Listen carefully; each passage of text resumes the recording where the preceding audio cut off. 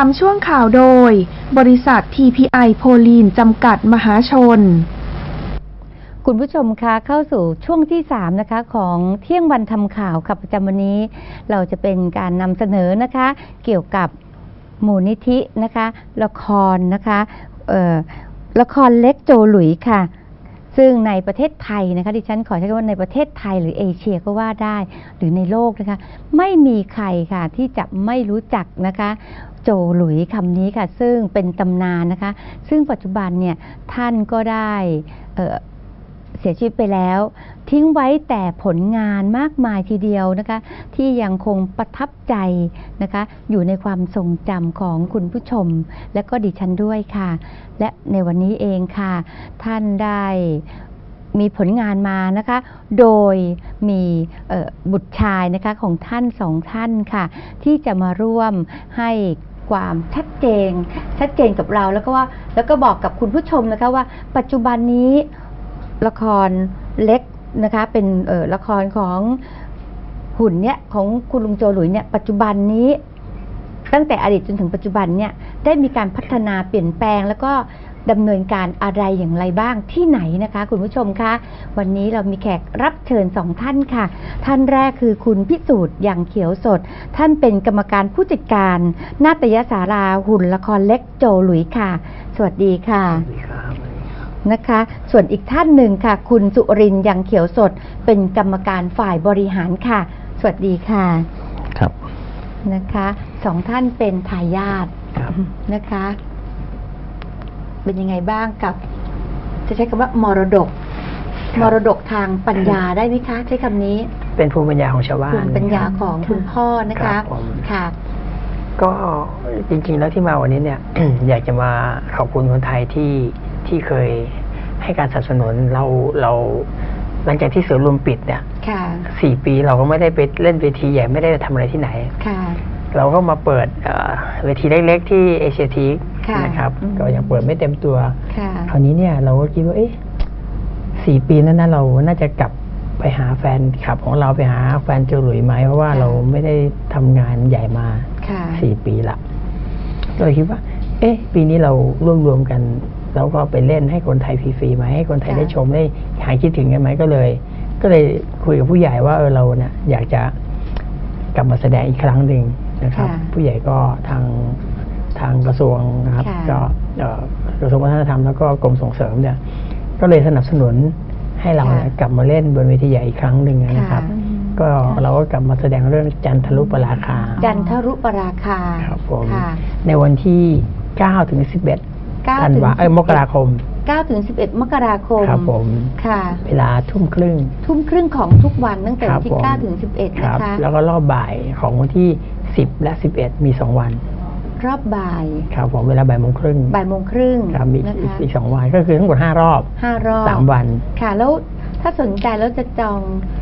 ตั๋วซื้อตั๋วอย่างคไรรับผยังมไงวันคะที่ 20 ธันวาคมนะครับ เปิดค่ะรับตั๋วฟรีพร้อมกันนะครับ 20 ธันวาคมรับตั๋วฟรีเหรอคะครับผมดิฉันจะไปสมัครเป็นคนแรกเลยครัค่ะบเพราะเป็นผมแฟนมานานแล้วค่ะครับที่ไหนเปิดรับพร้อมกันไหคะที่นาฏยศาลาหุละครเล็กโจหลุยที่เอเชียทีอ๋อกี่โมงคะค่ะเอ่อประมาณ5โมงเย็นครับห้าโมงเย็นนะคะครับถึงสามเราทุ่มอ่านข่าวเสร็จเราต้องไปนะคุณครับพันนาเอเชียทิกอยู่ใกล้ๆเรานี่เองครับนะคะใช่ผมใช่ครับใช่ค่ะเปิดวันเดียวนะครับชอบนานแล้ววันเดียวเหรอใช่คะครับอ๋อค่ะ ต้องจำแม่นๆนะคะค่ะต้องเราต้องไปะอยากให้คนไทยไปรับบัตรกันเพราะว่าเพราะว่าเราเราอยากให้ไหนๆก็ชมฟรีใช่ไหมครับค่ะแล้วเราก็อยากให้คนไทยเนี่ยมากันเยอะๆก็เลยค่ะเปิดรับบัตรวันเดียวเลยอืมเพราะว่าค่เพราะว่าเอ่อในวันนั้นเนี่ยพอรับบัตรแล้วเนี่ยก็ไปเจอกันหน้างานค่ะแล้วก็ไปรับตั๋วที่นั่นที่นั่นเอ้ขอครับเสริมนิดนึงเรื่องครับของตั๋วฟังแล้วสนใจตั๋วฟรีครับวันนี้มีมาแจกฟรีบ้างไหมคะ ครับวันนี้เนี่ยถ้าถ้าสนใจนะครับค่ะจริงๆแล้ว ไม่ได้เตรียมมาแต่ว่ายินดีที่จะมอบให้มอบให้เอาไว้ให้ในรายการนะครับค่ะกี่ใบคะสิบใบครับ สิบใบคุณผู้ชมคะเดี๋ยวเราจะขึ้นหมายเลขโทรศัพท์เลยนะคะ หมายเลขโทรศัพท์ของเรานะคะ เดี๋ยวให้ทางทีมงานขึ้นหมายเลขโทรศัพท์ ท่านที่โทรเข้ามานะคะสิบท่านแรกค่ะ รับไปเลยค่ะ บัตรฟรีจากโจหลุยนะคะค่ะสิบท่านแรกนะคะ เดี๋ยวทางน้องทีมงานจะขึ้นหมายเลขโทรศัพท์ให้กับท่านผู้ชมโทรเข้ามาเลยค่ะ นะคะครับผมค่ะว่าเป็นที่น่ายินดีนะคะ เราไม่ได้ไม่ได้ถามกันไว้ก่อน แต่เป็นอะไรที่ท่านให้กระทันหันโอ้โหดีใจมากนะครัคะบผมค่ะ ทีนี้พูดถึงกิจกรรมการแสดงของหุ่นเป็นยังไงบ้างคะครับผมในในในงานเนี่ยก็จะมีเรื่องของบูธต่างๆ มีการมีบูธของงานสาธิตทำวกทำหุ่นอะไรอย่างเงี้ยครับค่ะแล้วก็ภายในภายในเทเตอร์เนี่ยก็จะมีการแสดงที่เรา ที่เราปรับปรุงใหม่ค่ะแล้วก็ทำเอ่อทุกอย่างใหม่หมดนะครับค่ะเรียกว่ารีโนเวทกันใหม่หมดเลยแหละใช่ว่าอย่างนั้นเถอะครับแล้วนะคะเป็นเรื่องที่เคยได้รางวัลแชมป์โลกมาแล้วด้วยค่ะค่ะเรื่องจันทรุครับผมราคาครัใช่บไหมผมคะค่ะ คุณสุรินทร์คะครับเป็นยังไงบ้างมาคราวนี้ฮะเต็มก็ที่ฮะก็ผมคิดว่าคนคนไทยที่เคยได้ได้ดูโจหลุยเนี่ย นะฮะค่ะก็จะมองถึงนึกถึงในอดีตเมื่อตอนที่อยู่สวนลุมในบาซ่าค่ะนะฮะทุกคนคนไทยได้วัดคาดหวังว่าสักวันหนึ่งอาจจะเห็นโจหลุยโลดแล่นบนเวทีอีกครั้งหนึ่งค่ะนะฮะครั้งนี้ก็เป็นโอกาสที่ดีนะครับ ที่ค่ะกรมส่งเสริมวัฒนธรรมได้ได้ร่วมนะฮะให้การสนับสนุนกับนาฏยศาราหุ่นละครเล็กมาแสดงในครั้งนี้ แล้วว่าค่ะเราก็นำเรื่องที่เราได้ประกวดหุ่นโลกเนี่ย มาแสดงให้ให้ชมตอนอีนั้กนครั้เรางไปหนึ่งประกวดที่ไหนคะ ที่กรุงปาร์คสานารัฐเชคครับค่ะ นะฮะก็ก็เป็นสิ่งที่ดีนะฮะแล้วก็เราก็พยายามเอาเล่นในโชว์ของใหม่ทั้งหมดเลยไม่ว่าจะเป็นเรื่องของดนตรี ไม่ว่าจะเป็นเรื่องของเสื้อผ้าตัวละครตัวหุ่น ค่ะ แล้วก็นำเสนอเอ่อในในเนื้อหาต่างๆ เพื่อให้ชัดเจนขึ้นค่ะ นะฮะก็ก็จะเห็นในวันที่ 9 ถึงวันที่ 11 มกราคม 9ถึง11 มกราคมครับณสุผมพันนาครับกี่รอบนะคะ ก็5รอบครับห้ารอบนะคะฮขอเน้นนะคะว่าคห้าบรอบครับใช่ครับผมค่ะเรียกก็ว่าครับก็จะเป็นดนตรีสดด้วยนะฮะ แล้วก็คนภาคมาก็ทุกอย่างดูแบบสดๆสดหมดเลยทุกทุกคนรอบไม่เคยดูสวนลุมยังไงก็ดูอย่างนั้นค่ะอืมนะฮะแต่ว่าอาจจะยิ่งใหญ่เพราะว่าเวทีนั้นเอ่อเป็นเวทีที่ที่แห่งชาติเลยแล้วกันค่ะนะครับวัฒนธรรมหอใหญ่นะครับอ่าค่ะแต่ได้ยินว่ามารีโนเวทกันใหม่ดิฉันก็ต้องอลังการกว่าเดิมนะคะ แล้วค่ะตอนนั้นมีแรงบันดาลใจยังไงคะที่มาทำตรงนี้ต่ออะค่ะคือจริงๆแรงบันดาลใจมาจากคุณพ่ออะฮะเพราะว่า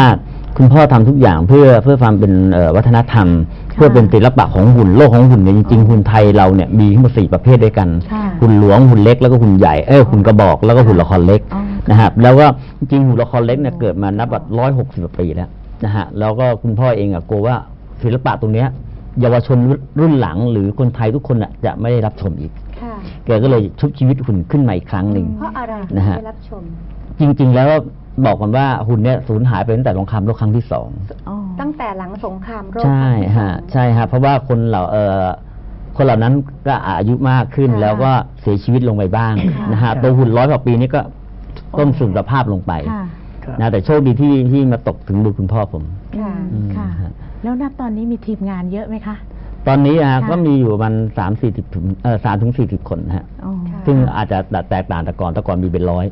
ค่ะ นะฮะค่ะแต่ณวันนี้เราเรามีสถานที่ตั้ง นะฮะค่ะอยู่ที่แถวเจริญเจริญกรุงซอยเจริญ82นะฮะค่ะแล้วก็ที่เอเชียทีนั่นก็เป็นเอ่อเป็นร้านอาหารนะฮะแล้วก็ค่ะมีโชว์ด้วยนะใกล้รับ ตรงไหนคะเอเชียทิกเนี่ยอยู่ตรงไหนอยู่ ใกล้ใกล้ไม่ค่ะใกล้ในเอเชียทิกอะค่ะ อยู่ตรงอ๋ออยู่โกดังใกล้ๆสี่ร้านครับอะไรคะโกดังสี่ประตูใหญ่โกดังสี่ อยู่หน้าถนนเลยครับ อ๋อประตูใหญ่เลย ประตูใหญ่นะคะใช่ไหมครัคะบก็เป็นแลนด์มาร์กแล้วถ้าค่ะเห็นหอนาฬิกาก็เห็นร้านโจหลุยตรงนั้นทางเลยเข้าที่จอดรถนะคอ๋รัอบทางพอเข้าเลี้ยวเข้าเข้าเอเลยทิกก็จะเจอโจหลุย คุณสุพรรณาเอาใหม่ เราเป็นคนกรุงเทพนะคะแต่ต้องเผื่อว่าประชาชนนะคะ ค่ะผู้ที่รับชมรายการค่ะของเราเนี่ยมีอยู่ทั่วประเทศไทยแล้วก็ทั่วโลกนะคะคุณผู้ชมต้องให้อธิบายชัดๆเออ่าเชียทีค่ะอยู่ตรงไหนครับผมใกล้ค่ะอะไรแล้วอยู่ค่ะชั้นไหนจุดไหนนะครัคะบเข้ามาที่ ACC นะครับก่อนจะเข้าที่จอดรถเนี่ยมันจะมีประตูใหญ่อยู่นะค่ะพอเลี้ยวเข้าประตูใหญ่ปุ๊บก็จะเจอโจหลุยส์ Theatre อันใหญ่เบ้อเลยอยู่ตรงอ๋อข้างหน้าถนนเลยฮะค่ะแล้วก็เลี้ยวผ่านโจหลุยส์ไปก็เป็นที่จอดรถ ค่ะครับผมนะคะชัดค่ะๆนะคะอยู่ที่กรุงเทพนะคะ ครับ แล้วก็สถานที่นะคะ ก็ได้คุณพิสุทธิ์ก็ได้บอกแล้วนะคะ ว่าอยู่ประตูใหญ่เลยค่ะ คุณผู้ชมคะค่ะ แล้วอย่าลืมนะคะสิบท่านแรกที่โทรเข้ามาในรายการของเราค่ะ ท่านค่ะจะได้รับบัตรชมฟรีนะคะค่ะ สิบท่านแรกเท่านั้นหมายค่ะ เลขโทรศัพท์นะคะ 026757696 ค่ะ ครับ ก็จะเป็นบัตรที่ได้รับ ก่อนใครๆเพื่อเลยเพราะก่อว่านที่ใครนะครัคะบ โอ้โห ครับหลังจากนั้นก็ต้องไปรับวันที่ 20นะฮะวันที่ 20 นี้ก็จะเปิดให้รับบัตรนะฮะค่ะรับบัตรฟรีแล้วก็เดี๋ยวไปที่เจอที่หน้างานอีกครั้งหนึ่งค่ะ แต่ผมเชื่อว่าคงเต็มอะฮะเพราะว่าอืมทุกคนรอคอยมาประมาณนี่เข้าไปประมันสี่หกปีแล้วหกสี่ปีเกือบดิหก ฉันว่าล้นแน่นอนค่ะไม่ใช่เต็มค่ะครับคงจะไม่คงเปิดนะคะต้นรอบใช่ค่ะค่ะเพราะว่าอย่างโดยส่วนตัวแล้วค่ะชอบมากค่ะครับค่ะ เพราะเป็นอะไรที่แบบ หาดูยากค่ะคุณค่ะสุวรรณาก็เหมือนศิลปะวัฒนธรรมใช่ไทยเราด้วยนะคะค่ะค่ะใช่ค่ะท่านเดี๋ยวก็เราจะเห็นเราสองค่ะคนไปในค่ะงานนี้ด้วยนะคะค่ะ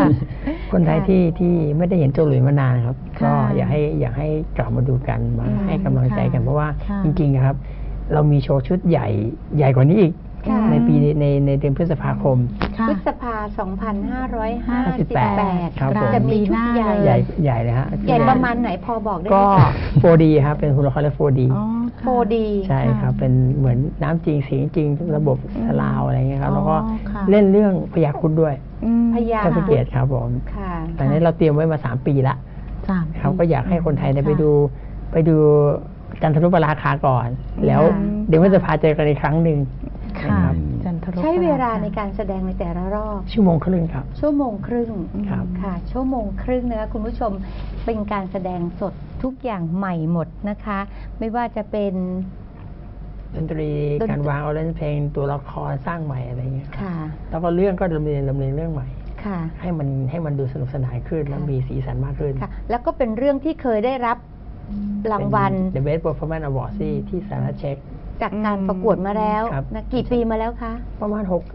7ปีแล้วมั้งครับ ค่ะ ที่ประกวดน่าจะประมาณนั้นนะครับค่ะแล้วก็อ๋อปี วัน2006 อืม 2006ครับผม ค่ะ สองพัน แล้วก็ผมถือว่าวันที่ 9 เนี่ย มันเป็นวันเด็ก ค่ะค่ะนะฮะเพราะฉะนั้นผมค่ะเชื่อว่าเอ่อพ่อแม่พี่น้องต่างๆเนี่ยน่าจะเอาเด็กเข้าไปชมนะฮะอืมแล้วก็ เริ่มวันแรกคือวันที่9ใช่ซึ่งเป็นวันเด็กนะคะของใช่ปี ครับ2558 เป็นเสาร์ที่ 2 ของเดือนมกราคมถูกไหมคะใช่ครับ ค่ะ วันเสาร์ที่ 2 ของเดือนมกราคมนะคะ ปีนี้ตรงกับวันที่ 9 ค่ะ คุณผู้ชมคะต้องพาลูกๆเนี่ยไปดูหุ่นละครเล็กโจหลุยกันนะคะ ที่ไหนนะ ค่ะที่ไหนนะ เอเชียทิกไงคะ เอเชียทิก ที่ไหนนะคะที่ศูนย์วัฒนธรรมอ๋อศูนย์วัฒนธรรมครับผมแต่ว่าค่ะไปรับบัตรที่เอเชียทีอ๋อค่ะที่รับบัตรที่ศูนย์วัฒนธรรม เอเชียทิกครับผมค่ะค่ะ ขอขอรบกวนนิดนึงนะครับเมื่อกี้เนี่ย คือวันที่ 9เนี่ยเป็นรอบแรก แต่ว่ารอบแรก วันวันที่ 10เนี่ยเป็นวันเด็กอ่า อ๋อวันดิที่ฉัน10พูดผิดขออภัยนะรับคะแล้วมาค่ะ วันเด็กเนี่ยจะเป็นจะชมฟรีฟรีเด็กชมฟรีเลยใช่ไหมคะครับผมในเด็กวันชมที่ฟรี10อายุครับผม ไม่เกินเท่าไหร่ จริงๆ เรื่องนี้ดูได้ตั้งแต่เด็กป .1 นะครับ ค่ะ ถึงมสปลาย มปลายมปลายเลยครับมผหกนะคะ ค่ะ แสดงว่าลูกดิฉันมีสิทธิ์ครับ นะคะค่ะสมได้ฮะเด็กๆก็จะไปร่วมกิจกรรมต่างๆด้วยอืมค่ะค่ะอ๋อครับ มีกิจกรรมในงานด้วยนะครัคะบผมวันนั้น มีการสาธิตเชิดหุ่นมีการสอนเชิดหุ่นอะไรอย่างเงี้ยครับอ๋อสอนมีสเช่นอนนี้เนี่ยอ๋เพื่ออมีเพื่อให้เด็กสให้นุกเด็สกนานลองคลรัอบ งเชิดด้วยนะครัคะบผม ค่ะ อืมได้มีการสอนด้วยนะคะ คุณผู้ชมก็ฟังแล้ววันเด็กปีนี้คุณต้องมีคุณผู้ชมต้องมีโปรแกรมตรงนี้แล้วนะคะ ไปไหนไม่ได้นะคะ ค่ะแต่ดิฉันก็จะนะ พาลูกมาวงด้วย วางแผนไว้แล้วคุณต้องค่ะบอกว่าคุณมีลูกแล้วอ๋อนะคะ ค่ะ เราจะพาลูกเรามาดูเอ่อมาเที่ยวในงานนี้กันค่ะ คุณผู้ชมไปชมด้วยกันนะคะค่ะ แล้ว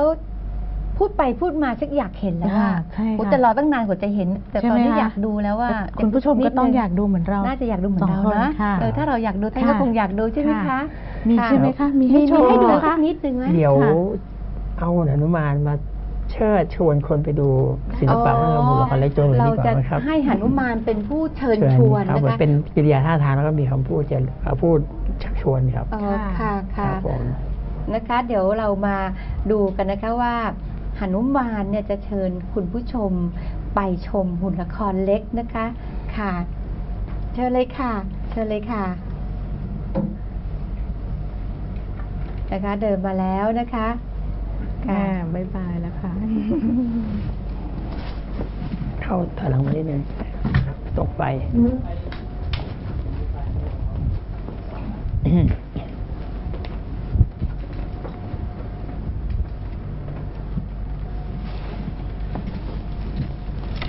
ต้องภาคเสียงอะไรไหมคคะรับผมเดี๋ยวดูเป็นภาพสีครับก็ เอาเป็นสดๆเลยแล้วกันนะฮะ อืม ดูก่อนเยาวชนคนไทย อย่ารอช้า เชิญทุกท่านทอดทัศนาเพลิดเพลินใจ ดูหุ่นละครเล็ก เล่นชุดใหญ่ตะการตา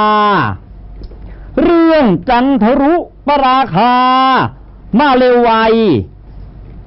ให้ดูฟรีทุกที่ อย่าช้าที 9ถึง10 11 มกรานี้ ดีหนักหนา ครับ ก็เป็นสดๆแล้วกันนะฮะอืมชวนกันไปดู ค่ะ ทุกอย่างสดหมดนะคะ คุณผู้ชมคะค่ะ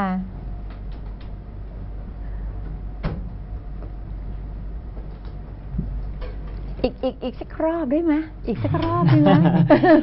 เดี๋ยวจะมืดไปนิดนึงเดี๋ยวเดี๋ยวค่ะ ปรับแสงก่อนนะ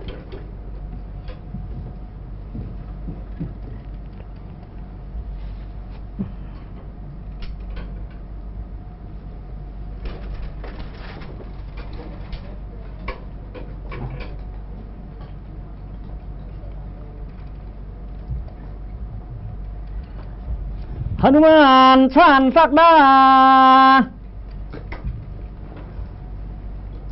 เชิญทุกท่านถอดทัศนา เพิ่นเพิ่นใจ ดูหุ่นละครเล็ก เล่นชุดใหญ่ตะการตา เรื่องจันทรุวราคา มาเร็วไว ให้ดูฟรีทุกท่านทุกที่ อย่าช้าทีเก้าสิบสิบเอ็ดมกรานี้ดีหนักหนาอ่าฮะก็จะเห็นในช่วงคำช่วงลีลาของการเชิดค่ะอืมฮะแล้ววันนั้นเองเดี๋ยวพระเอกของเราก็ไปที่หน้างานก็จะเจออนุมานของเรานี่เองครับค่ะอย่างเมื่อกี้เขาเรียกว่าอะไรคะขับ เออการภาคล้ยๆเจรจาฮะคล้ายภาคคล้ายๆขับเสพาอ๋ไหมอคะขับเสพาก็จะเป็นอีกแบบหนึ่งอืฮะมตอนนี้คือเรียกค่ะเอ่อการคล้ายๆภาคอ๋อภาคค่ะเป็นทำนองภาคค่ะเป็นเอ่อเจรจาหรือพูดคุยอืมเออค่ะค่ะ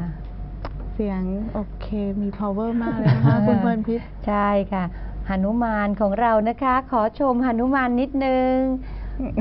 เจ้บายบายหนุมานนะคะ สวัสดีค่ะอืมสวัสดีค่ะ ค่ะน่ารักสวัสดีค่ะจังเลยเราได้สิทธิ์ก่อนใครนะคะเอาหอมแก้มหอมแก้มนะคะหอมแก้ม ถึงไหมคะเออค่ะอ้าวดิฉันถูกหอมแล้วนะคะกลางกลางเอ่ออะไรนะกลางทีกลางเววีทีกลางนะคะเลยค่ะโอ้โหดีใจค่ะ นะคะค่ะน่ารักมาก น่ารักมากค่ะอืมค่ะ แล้วเครื่องแต่งกายนี่ชุดหนึ่งนี่ต้องใช้ระยะเวลาในการทำนานไหมคะ กว่าจะได้หนึ่งชุดนะคะ ครับก็พอสมควรนะฮะอย่างน้อยๆอย่างค่ะต่ำก็หกเดือนอ๋ออมค่ะค่ะ มีตั้งแต่ ชุดมันอยู่ที่ความละเอียดนะบางชุดก็ค่ะปีกว่าๆก็มีค่ะบางชุดก็อ๋อค่ะแต่ตามสุดก็น่าจะเป็นหกเดือนเพราะว่า ค่ะเริ่มต้นจากการปั้นก่อนสเก็ตปั้นปั้นเสร็จอืมก็มาออกแบบในในในชุดอีในกทีชุดหนึงเขาแล้วก็มาค่ะถอดเป็นชิ้นๆเขียนลายแต่ละชิ้นลงไป แล้วก็ไปปักมือค่ะ ก็ขั้นตอนละเอียดครับ ถามถึงเรื่องการจองบัตรนิดนึงครับ ไปซื้อหน้างาน หรือบัตรอย่างไร ครับงานนี้นะครับชมฟรีนะครับไม่มีเสียค่าใช้จ่ายใดทั้งสิ้น แล้วในช่วงค่ะ ไม่มีเสียเลยเหรอคะช่วงครับผมก็ไม่ไม่มีเสีเสียยเลยไม่เสียใช่ไหมค่าใช้จ่ายคะทั้งสิ้นครับ เน้นว่าฟรีหมดเลย ใช่ครับ ก็คือเสียค่ารถไปดูอย่างเดียวพอ เสียค่ารถอย่างเดียวเสียค่ารถอย่างเดียวค่ะนท่านผู้ชม ดิฉันพยายามถามนะคะเพื่อให้ท่านตอบว่าค่ะ ฟรีนะคะครับเพราะว่าเน้น เพราะว่าทางทางเอ่อกรมส่งเสริมนะครับท่านค่ะท่านสนับสนุนอยากให้คนไทยเนี่ยอืมมีความสุขในช่วงปีใหม่ค่ะค่ะ แล้วก็เนื่องในวันเด็กแห่งชาติด้วย อืม ก็เลยสนับสนุนให้เราเนี่ยแสดงค่ะ ครับค่ะอย่างค่าใช้จ่ายก็ไม่มีเนี่ย จุดประสงค์ในการทำงานเนี่ยครับ คืออะไรคะ เนี่ยฮะก็คือคืนความสุขให้คนไทยอยากให้อ่าปีใหม่ค่ะของขวัญกับคนไทยได้มีความสุข อืมค่ะแล้วก็เนื่องในวันเด็กแห่งชาติพอดี ค่ะ ก็เลยจับสองอย่างมาด้วยกันแล้วก็เล่นให้ ค่ะนโยบายของรัฐบาลเลยนะคะ คืครันบความคืสุขนให้ความประชาชสุนขนะคะครับผมคุณเพลินพิษค่ะ คืนความสุขคืนให้คกับวามคนสุขไทยดิฉันว่าสุขมากทีเดียวนะคะ ฟรีด้วยดีด้วยสนุกด้วยโอ้โห สุดยอดเลยนะคะ ทีนี้พูดถึงหุ่นละครวันนั้นเราเอาไปกันทั้งหมดกี่ชีวิตคะที่ไปแสดงวันนั้นอ่านักแสดงเนี่ยถ้าถ้าทั้งดนตรีจะประมาณ 40 ชีวิตครับสี่สิบชีวิต backstage อีกประมาณ 10 ก็คือ 50 ชีวิตห้าสิบค่ะชีวิตครับใช้เวลาในการแสดงชั่วโมงครึ่งชั่วโมงต่อ15รอบครับอืมค่ะนะคะ 40 ชีวิตทุกอย่าง renovate ใหม่ ครับ ไม่ว่าจะเป็นดนตรีอะไรก็ตามครับแต่ ก็ก็วางทำเพลงใหม่แล้วก็ทำเครื่องทำทำฉากทำอะไรนะครับค่อนข้างจะใหม่เกือบทั้งหมด ค่ะนะครับแล้วก็ที่สำคัญคือวางเนื้อเรื่องให้มันสนุก สนานขึ้นแต่งอะไรเข้ามาใหม่ขึ้นด้วย ค่ะค่ะอืมแล้วก็ แต่แต่ละรอบนี่เป็นเรื่องเดียวกันไหมคะ หรือเรื่จะองเปเดีลี่ยยนวกัน สลับไปเรื่อยๆไหมคะ เรื่องเดียวกันเรื่องเดียวห้ากันรอบใช่ครับใช่ไหมอบเลยเพราะว่าปกติเนี่ยเรื่องหนึงเราใช้เวลาทำถึงปีอะครับ ค่ะ เพราะฉะนั้นเราเปลี่ยนเรื่องบ่อยๆไม่ได้เพราะว่างานมันละเอียดมาตั้งแต่การวางเรื่องวางโครงสร้าง ค่ะวางไฟวางตัวละครวางบทอะไรมันใช้เวลาหนึ่งปีในการเตรียมงาน ค่ะเพราะฉะนั้นปีนึงเนี่ยเราทำโชว์ใหญ่ได้ปีละเรื่อง นี่คือเหนื่อยทั้งปีแล้วถึงจะได้โชว์หนึ่ง ค่ะ เหนื่อยทั้งปีเพื่อครับให้เราดูชั่ชั่ววโมโมงงครึ่งครึ่ง คุณผู้ชมคะเหนื่อยทั้งปีค่ะกับใช้ทีมงานทั้งหมด 40 ชีวิต ในการที่จะพิถีพิถันชิ้นงานออกมานะคะครับเพื่อคืนความสุขให้กับประชาชนครับนะคะ เพื่อคืนความสุขแล้วก็วงเล็บว่า ไม่เสียค่าบัตรด้วยนะคะ ไม่เสียค่าบัตร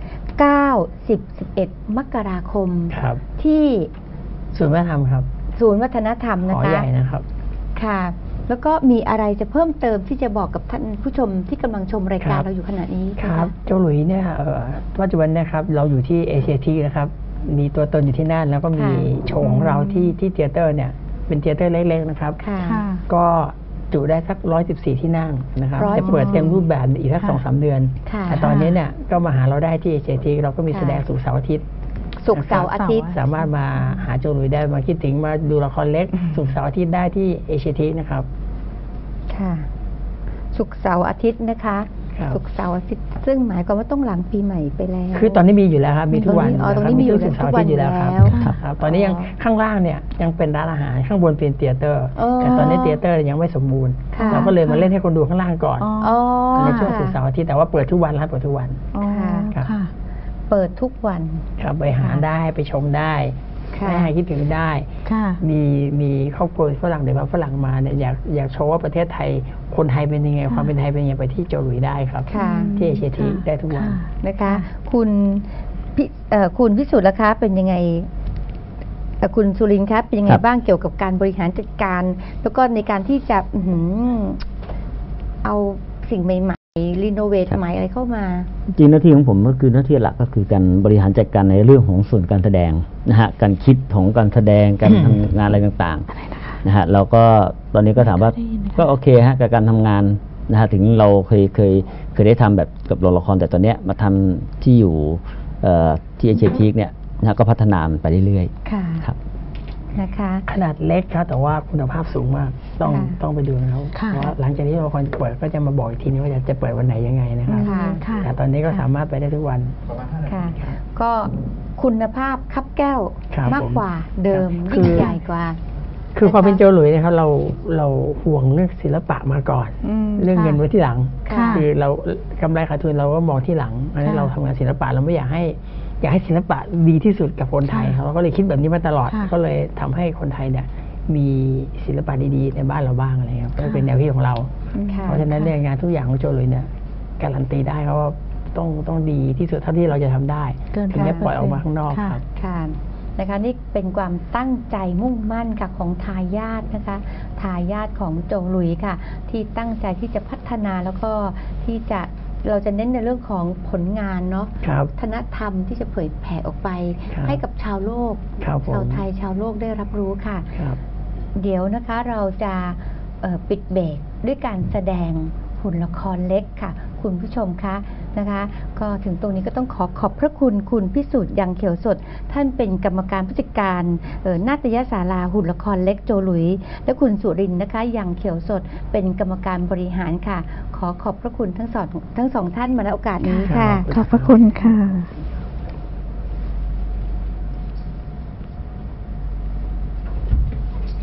เชิญเลยค่ะ เข้ามาบ๊ายบายเลย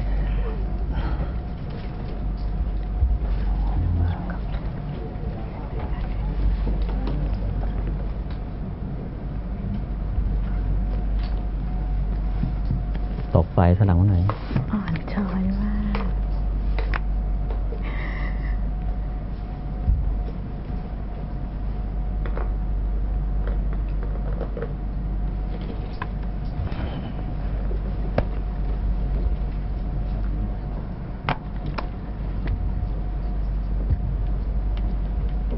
นะคะค่ะ เดี๋ยวเรา